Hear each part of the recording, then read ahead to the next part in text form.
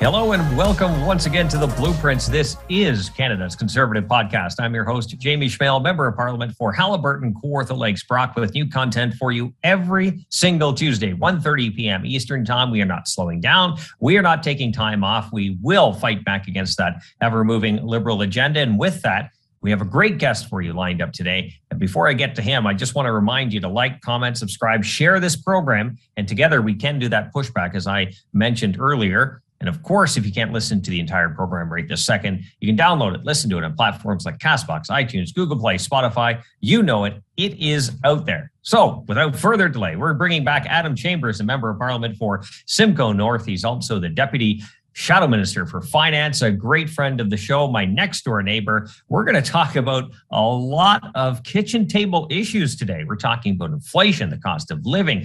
Everything seems to get harder and harder under this liberal government. Not to mention that they're actually okay with high prices of gasoline. So, Adam, thanks for coming back on. Great to be here with you, Jamie. All right. Inflation is almost at 8%. It's absolutely incredible. The finance minister, Chrystia Freeland, gets asked about that at a news conference, and she goes into talking points basically about how this must accelerate their investments, their so called investments into green energy. It's like they don't even care that the price of everyday items is driving people, many hardworking people, into almost poverty to trying to pay for the increases that are skyrocketing right across the supply chain. You're exactly right. It, it's another example of the government being behind the curve. You know, 12 months ago, they were telling people, don't worry. They were using the word, it's transitory. And yet, every single month or quarter that there's another data point that kind of undercuts their entire narrative, they, they keep kind of saying, you know, don't worry. Look at the inflation around the rest of the world. Now they're blaming inflation on the war in Ukraine, which no doubt has an impact on the price of goods. We're not disputing that. But inflation was at 30 year highs before the war started. And now we're at now we're at uh, the highest level since 1983 and interest rates at that period of time were significantly high uh, in order to bring down inflation so uh, the government's behind the ball um, i asked a question in question period just six weeks ago about what the government is going to do as there were signs the growth in the economy was slowing and the answer I got back was, we've had the strongest growth three to six months ago. Um, not forward looking, always looking rearview mirror. They're being caught uh, behind the curve once again. And I'm not sure they're prepared for the economic, uh, potential economic challenges that lie ahead. Well, you said a lot there, and to pick up on some of it, like there's more money in the atmosphere right now. It's obviously worth less now because, as you pointed out, we have uh, we have currency inflation because of the printing of almost 400 billion dollars in currency. At the same time, the demand, which has increased the price of everyday essentials, uh, all hitting at the same time. Not to mention that, what's the solution that the government has and the NDP have? Well, let's tax the oil and gas companies well, that's only going to drive the price up even higher. Like you're punishing a group, a business. Yes, they're in it to make money, but they've been trying to expand their footprint here in Canada for as long as I can remember, decades. And, and they're dealing with the brunt of it. And you can't just up production just on a snap of a finger. It doesn't happen that way. Well, there's a couple things happening there. First, you know, the NDP is talking about excess profit taxes uh, in particular in the oil and gas industry. I mean, where was the NDP talking about thank or were they thanking the oil and gas in, uh, industry for the last 10 years when they were having massive losses and they were keeping inflation and prices low for people? I mean, it really doesn't make sense. If you're going to go after them now, what what about the flip side when things weren't going so well for that industry? I haven't really seen them defending the industry over the last 10 years when they had some serious challenges. Uh, the second is for some reason the answer to inflation, both uh, primarily from the NDP, but even some in the government caucus, is to make government revenues bigger, is to grow the size of government. Well, the federal government's actually never made as much money as it's making right now. Every month, it's breaking records for the amount of revenue that it's bringing in. The federal government has more money than it knows what to do with. And I'm not sure that giving it even more money is going to solve the inflation problem. In fact, giving this government more money means inflation is likely to get worse because they're going to spend it. And that's what's driving one of the things that's driving inflation. We've talked about this before on this show. It's like the government's solution to the inflation crisis just to spend more. They can find a way to spend their way out of this. It's like fighting cancer with more cancer. It, it absolutely doesn't make any sense whatsoever. And, and the media is sadly very silent on this. I think there are real alternatives that we're proposing that just get overlooked because it, can't make Justin Trudeau look bad. Well, uh, you raise an incredibly good point. There are some alternatives. I get that the government doesn't necessarily want to listen to uh, its main opposition party in the House of Commons. Uh, so let's use some other examples. Um, former Governor of Bank of Canada Stephen Poloz says, uh, or excuse me, uh, David Dodge, uh, he was quoted recently saying, look, in order to bring inflation down, we have to see um, prices for energy, in particular oil and fuel, also come down. Well, 60 cents of every liter that we pay in gasoline uh, charges is taxes that go to some level of government, whether it's federal, provincial, or municipal. Uh, in fact, in France, their central bank said one of the reasons that France's inflation rate is lower than most other areas in Europe is because they cut taxes on gasoline. And so we have to be a little bit creative. I mean, listen, uh, if the government is so ideologically wedded to a carbon tax, okay, fine. Why don't they then say, listen, if if fuel is a dollar fifty a liter or a dollar forty a liter, the carbon tax is this number cents. But if it gets to two dollars a liter, we don't need the carbon tax anymore. We're already actually have such a high price move up in gas. Anyone who can reduce their consumption is, and anyone who's continuing to consume is consuming because they have to. They have to drive to work. They have to pick up their kids from soccer practice. They have to drive that truck uh, to uh, to the job site or deliver goods. You know, some of these folks are independent truckers. Um, diesel has doubled in about 12 months, or or just a little bit more than that. So I, these are real challenges. I think the government has to be thinking a bit outside the box. I mean, their plan to fight inflation was just an announcement of things that was in the budget. Um, there's nothing new here for people, and the NDP is just, you know, continuing to criticize them but they're supporting every step of the way. Okay, a couple of things there. Um, you know, as you mentioned, yes, the government is pulling in more and more money than it ever has before, but yet we can't get a passport. Canadians can't get a passport. The airports are a disaster. Immigration department's backed up about 2 million files I saw. Veterans are still waiting in line for, for their benefits. And the list just goes on and on and on. At the same time, the plan to fix inflation is to spend more.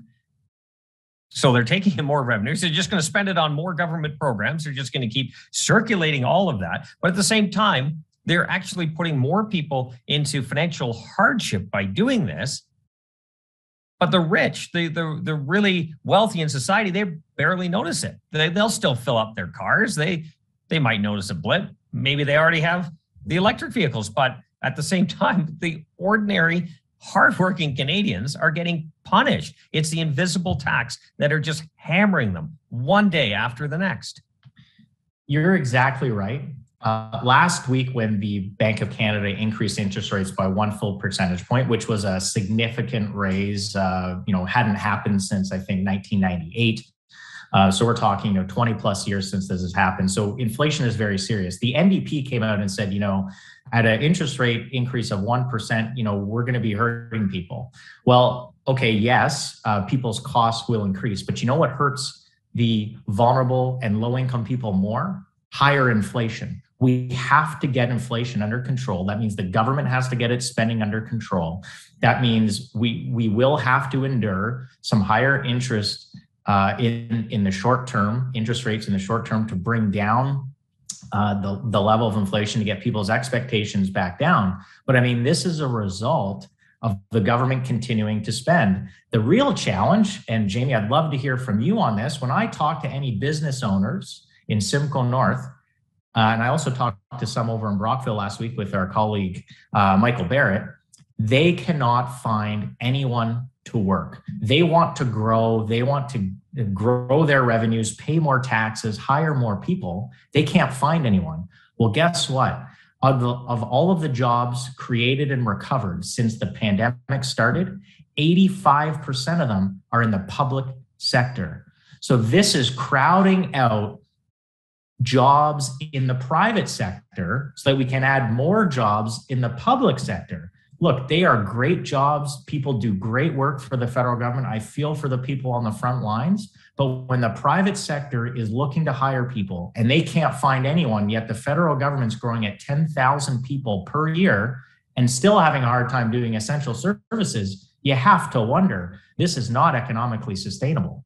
Well, I'm glad you brought that up. It was actually one of the things I wanted to talk about the, the growth in the hiring in the public sector. A lot of job gains has been into the bureaucracy.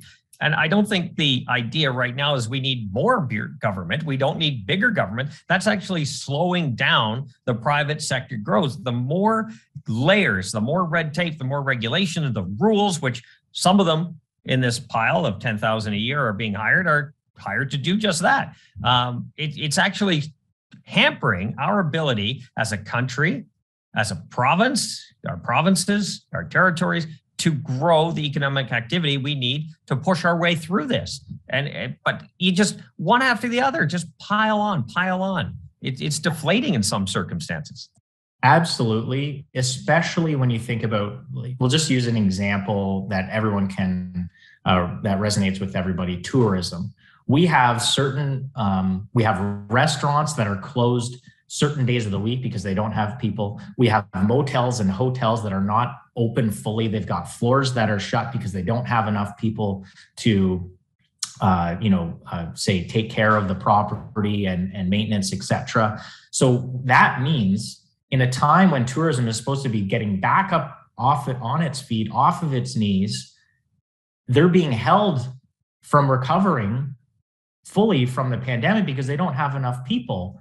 I mean, this is potential economic growth that we are that is disappearing forever. You know, every hotel room that goes unused uh, every night is is money that can never be recovered, right? That is a perishable good that expires at the end of each day, as an example. And so, uh, people are business owners are, are, frustrated because they can't find labor. They're having a hard time getting um, any help from government on this front. Yet at the same time, are seeing the size of government continuing to grow, and the services are actually not keeping up with that growth. So it's a big problem. I really feel for uh, the small businesses out there that are kind of the lifeblood and engine of the actual economy, and, and they're trying to grow, but they can't find the people. And so we need to figure out uh, how we're going to stop the, the growth of government, but how we're going to encourage more people to kind of enter and remain in the workforce that we can help our small businesses uh, recover fully. Well, that's one thing that really doesn't get covered when you're looking at the loss of economic opportunities, the activity is the creation that never happens. You know, most organizations try to determine small business that, well, if I do this, I may have got here.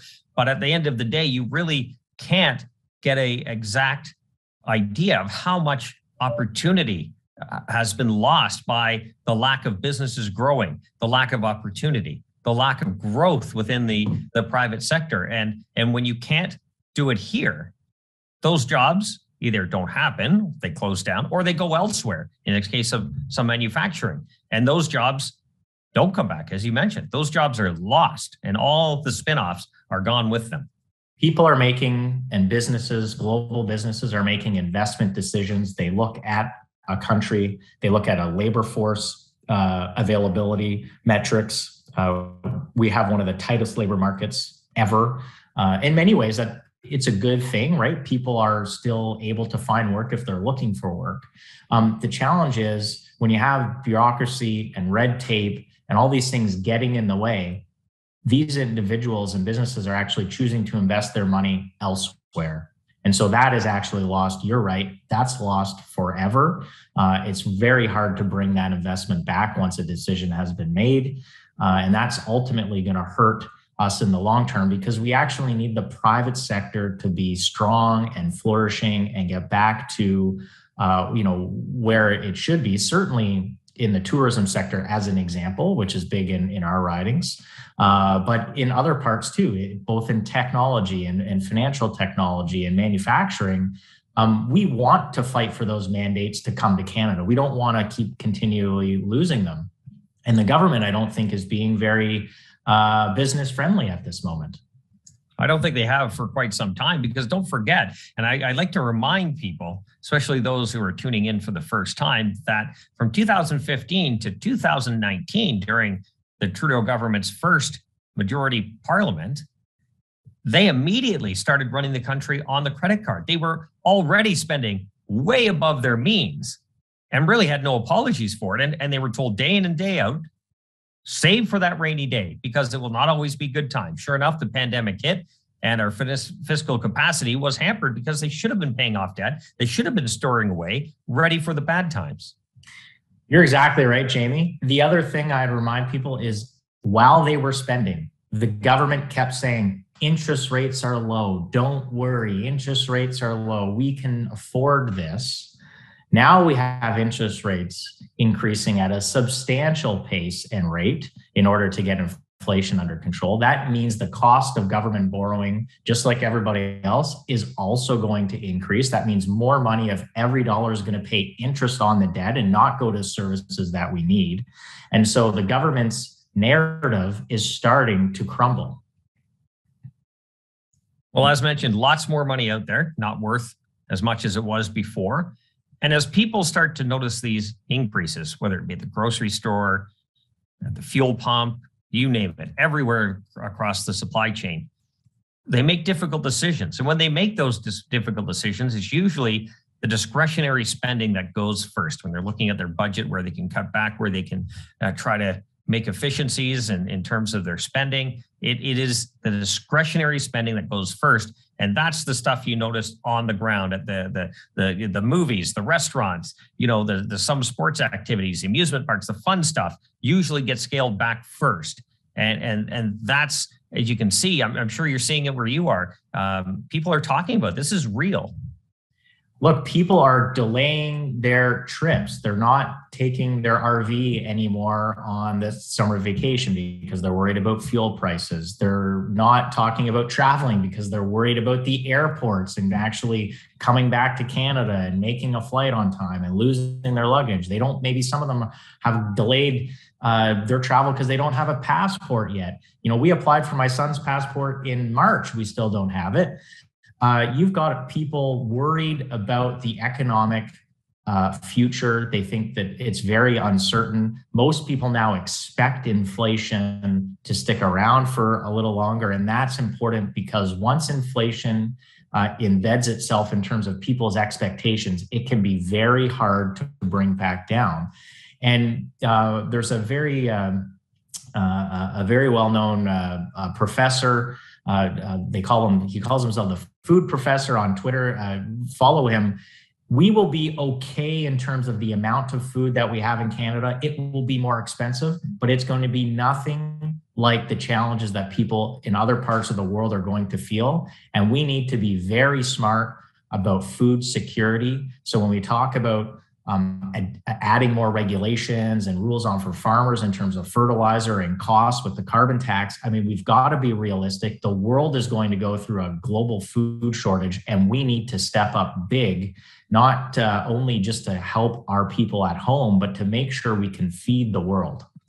That's actually a topic for a future discussion. Actually, uh, we're going to talk about what is going on in parts of Europe, how the government is playing in the marketplace and distorting the agriculture sector, especially in countries like the Netherlands, which are a huge exporter in agriculture, as well as what Canada's doing to its its farmers right now with fertilizer and other uh, measures they say are for the common good. So, Adam, as you know, uh, we always give the guest the last last word. Um, let's talk about what uh, the Conservative Party is proposing. Just to reiterate, I know we, you and, and, many others have talked about it in Parliament over and over and over again.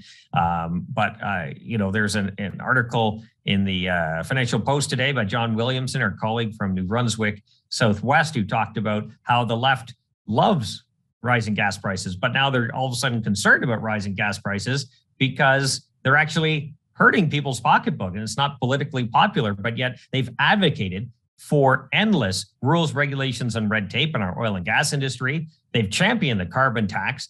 They've shut down pipelines, the ability for Canada to add to the supply shortage that is out there. But we have done this.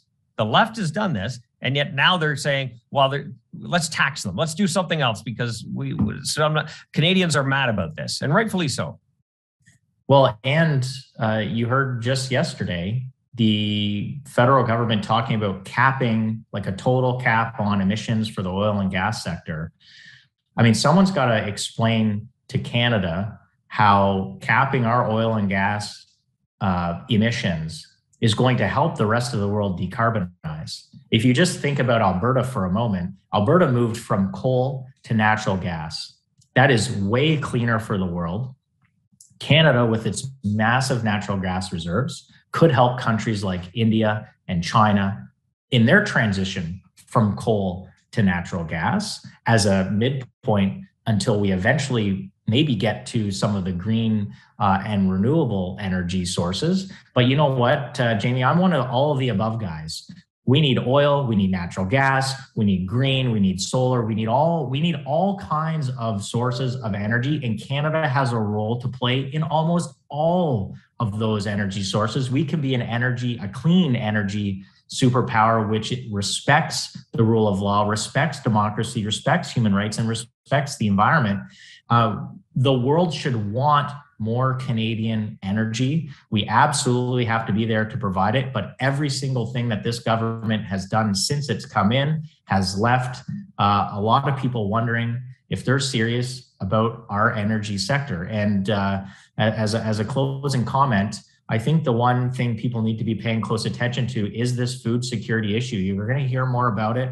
Um, we will be fortunate in Canada um, you know, it will be tough for a number of people, but around the world, it's going to be really tough. And the and the and the gentleman to follow is Dr. Sylvain Charlebois, a well-known uh, professor at Dalhousie, and uh, paints a very very uh, difficult picture coming up. So maybe a future conversation, Jamie. We'll talk about uh, food. We can get our colleague on here, John Barlow, who's all about that, uh, all about that file and doing an excellent job but it's uh, I, am really worried about for what's to come uh, on the food security piece for for us. I am too, and I think we'll have Barlow on or try to get him for uh, next week because I, I, think you're right.